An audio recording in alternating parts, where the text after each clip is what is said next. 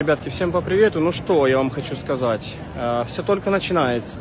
И в самой стране Украина все только начинается. Вчера в Киеве а, было совершено преступление украинским солдатам ВСУ, который, наверное, а, находился в отпуске, в нетрезвом состоянии. В ходе расследования а, в Киеве компания молодых людей решила проехаться на фуникулере. А, и там были молодые подростки по 16 лет, и зашел военный. А, и военный начал приставать к подросткам, готовы ли они защищать Украину. И спрашивал их, чему не на фронте. А, завязалась потасовка, молодые люди, 16 лет, напоминаю, ответили ему в грубой форме, и военный решил толкнуть молодого человека в стекло. Тот получил а,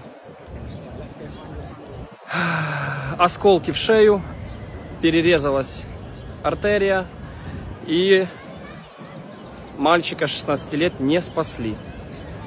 Вот такая вот ситуация вчера произошла в городе Киев, столице Украины.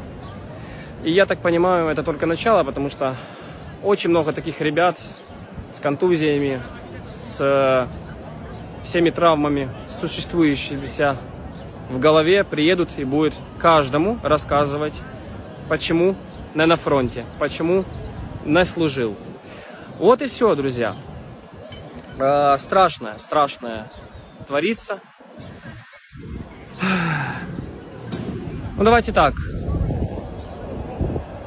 Мне кажется, что ни один человек не должен указывать вам, почему вы не там, почему вы там, почему донатишь, почему не донатишь. Ведь э, мы вильный народ вильной Украины, да? И каждый человек в стране президент. Ну, по крайней мере, э, это слова зеленой твари, просрочки. Вот. Вот такая вот недобрая весть со столицы Украины. Подписывайтесь на мой телеграм-канал, там больше подробностей. Конечно же, там видео о море крови и так далее. Сюда я не могу вам это показать.